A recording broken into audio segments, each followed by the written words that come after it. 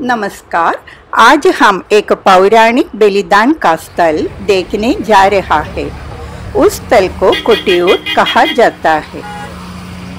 कोटियूर मंदिर केरल में कन्नूर के कोटियूर में स्थित एक प्रमुख मंदिर है। यह पुरलीमला के कटन राजवंश के अधीन था जिससे कटियूर नाम उत्पत्ति हुई। बाद में कोटियूर बन गया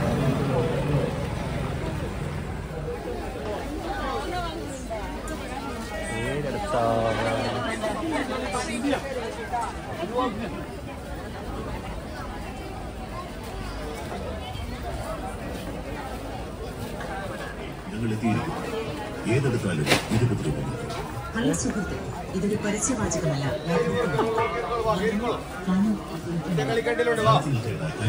कोटियूर में दो प्रकार का मंदिर है एक को बावाली नदी के पश्चिमी तट पर उसे इकरी कोटियूर कहा जाता है दूसरे पूर्वी तट पर उसे अकरी कोटियूर माना जाता है इसका दूसरा नाम है किड़केश्वरम मंदिर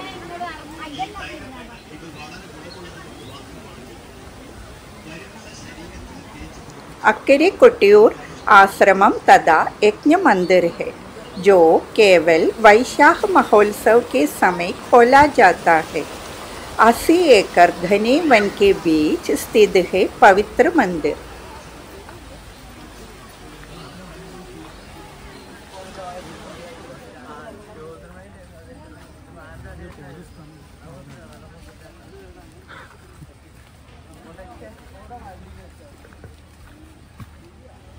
ഓല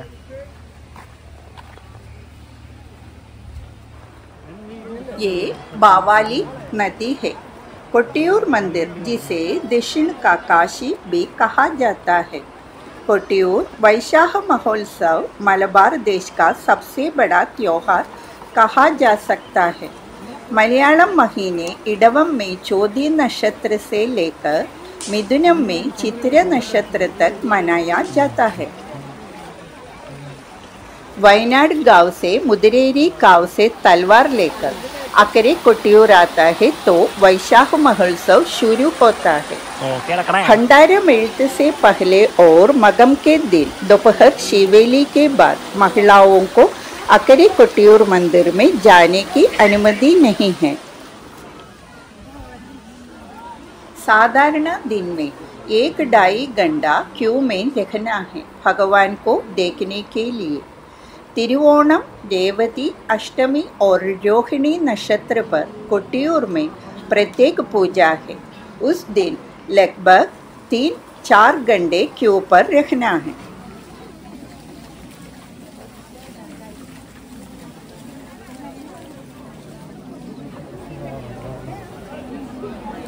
वैशाख उत्सव बारिश के मौसम में मनाया जाता है ऐसा माना जाता है जब उत्सव मनाया जाता है तो बारिश होगी।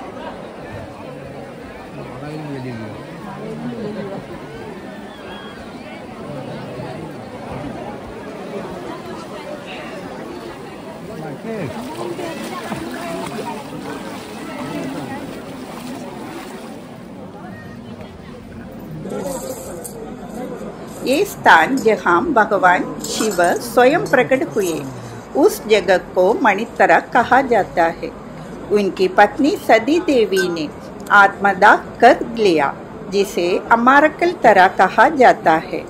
दो पवित्र स्थानों की परिक्रम करने के लिए मार्ग को तिरुवंचिरा कहा जाता है। इसकी उत्पत्ति रिक्त की धारा से हुई, जो सदियों पहले वहाँ बही थी। こん。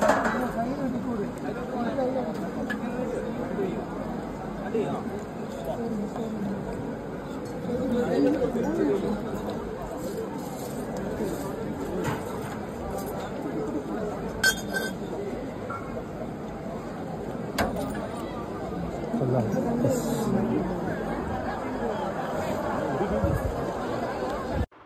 सभी देवताओं की उपस्थिति में पौराणिक यज्ञ दशयागम का आयोजन किया गया था इसलिए इस स्थान की यात्रा अत्यंत पवित्र मानी जाती है सती देवी के पिता दक्ष ने भगवान शिव को छोड़कर सभी देवताओं को आमंत्रित करते हुए एक यज्ञ किया सती देवी जो बिना बुलाए यज्ञ स्थल पर पहुँच गए अपने पिता दक्ष द्वारा अपने पति शिव को दिए गए अपमान से दुखी होकर यज्ञ की अग्नि में खुद गए। जब भगवान शिव को सती के बलिदान के भारी में पता चला तो वो क्रोधित होकर अपने उलझे हुए भालों को काट दिया और उन्हें ज़मीन पर फटक दिया।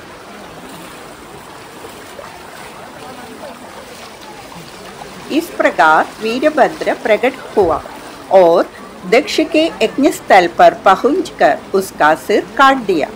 भयभीत विष्णु, ब्रह्मा और अन्य देवता कैलाश की ओर दौड़े। उन्होंने शिव को शांत किया और उन्हें यज्ञ दूषित परिणामों का एहसास कराया।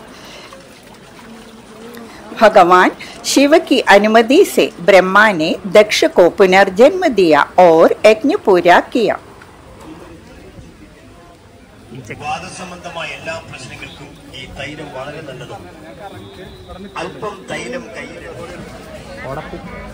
ये ओडपू कहा जाता है ओडा फूल वीरभद्र का दिशा का प्रदी है और गैरों के सामने प्रार्थना कक्ष में और वाहनों पर लटकाए जाते हैं, इसे समृद्धि आते हैं।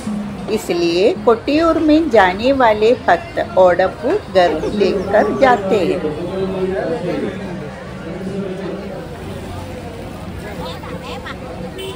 ये मंदिर है इकरी कुटियोर बड़केश्वरा मंदिर प्राचीन काल से मंदिर का सामान्य नाम है।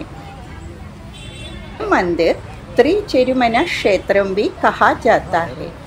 ये मंदिर मलबार देवस्थान बोर्ड के विशेष श्रेणी का मंदिर है। ये मंदिर वैशाख उत्सव के 27 दिनों को छोड़कर पूरे साल खुला रखता है।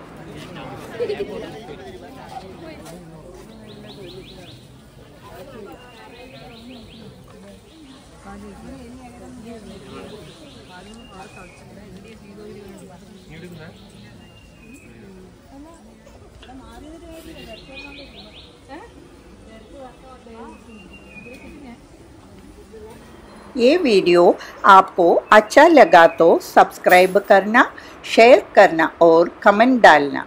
नई वीडियो लेकर तक नमस्कार, फिर आएँगे।